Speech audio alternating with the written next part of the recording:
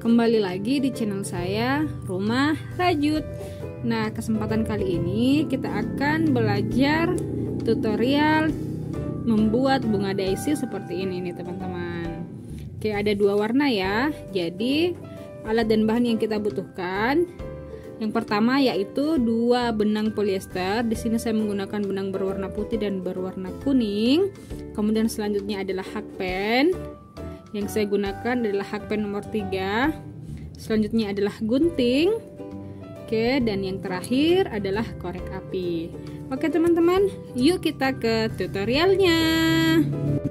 Oke, teman-teman, untuk langkah pertama kita akan membuat magic ring.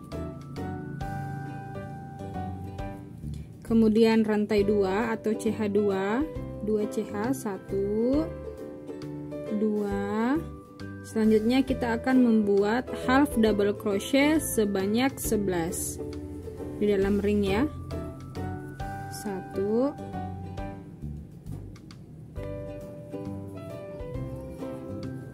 2 3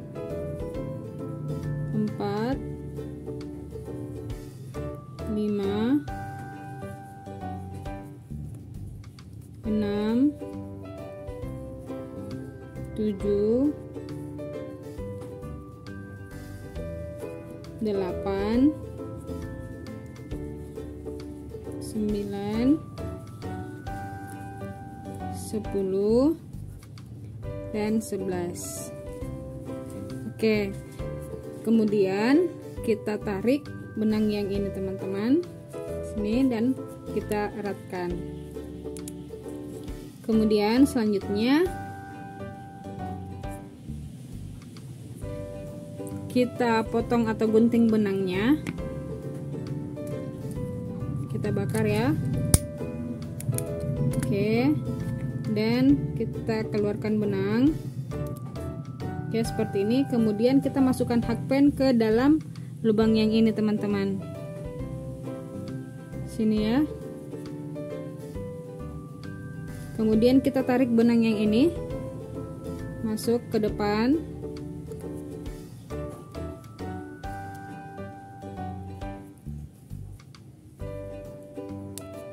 oke selanjutnya kita masukkan hakpan ke lubang yang ini.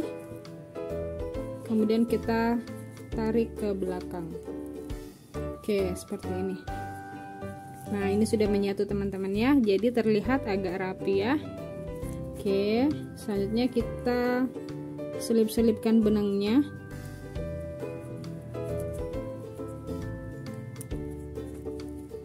Dan kita simpul oke.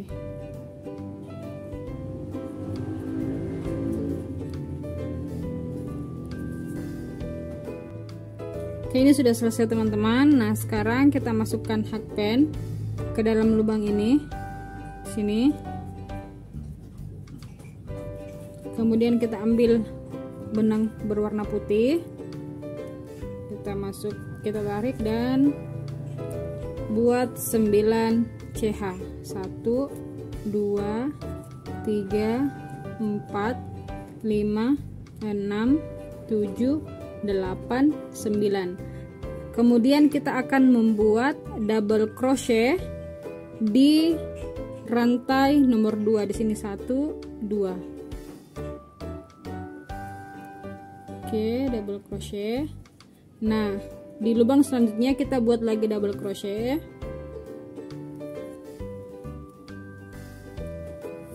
Nah, untuk rantai ini teman-teman, kita akan mengisi 6 double crochet di tiap 6 double crochet dan masing-masing lubang 1 double crochet. Sini sudah 2 double crochet ya, teman-teman ya. 2 sekarang 3 4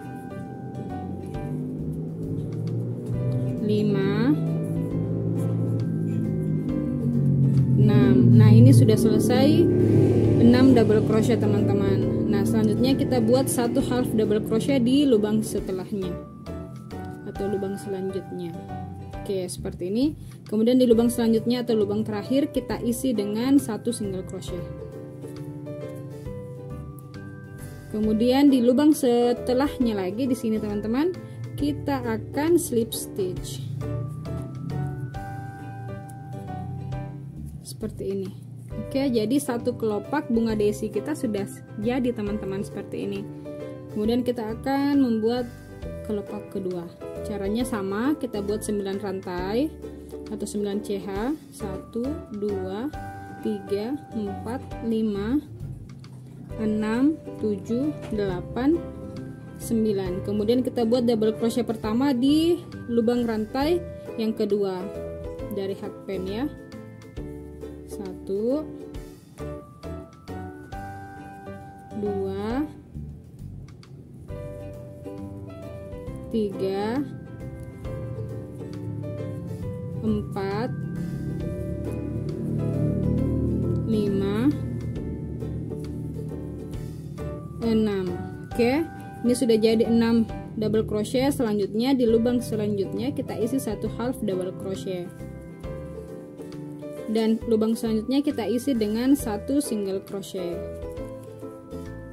Nah untuk lubang di warna kuning ini di lubang setelahnya kita slip stitch.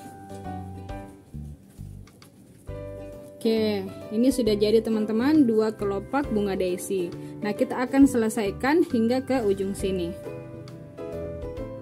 Oke teman-teman kita sudah sampai hampir di ujung. Nah untuk pembuatan bunga desi ini kelopak yang kita butuhkan itu adalah 12 jadi kita hitung 1 2 3 4 5 6 7 8 9 10 11 jadi sisa satu kelopak lagi teman-teman ya.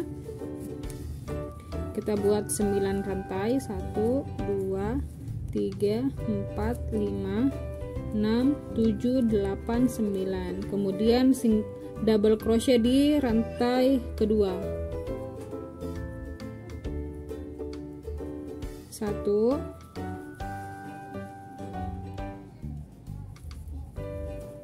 Dua. Tiga.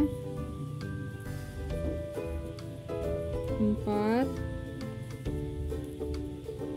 Lima 6 kemudian kita buat satu half double crochet. Kemudian selanjutnya yang terakhir kita buat satu single crochet. Nah selesai teman-teman. Kita akan slip stitch di sini.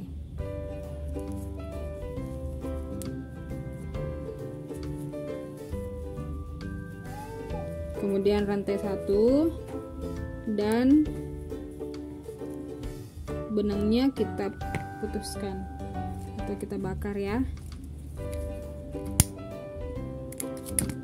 Seperti dengan teman-teman.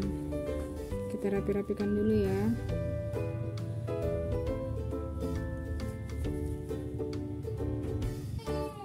Oke ini saya sudah selesai teman-teman. Selesai kita rapikan.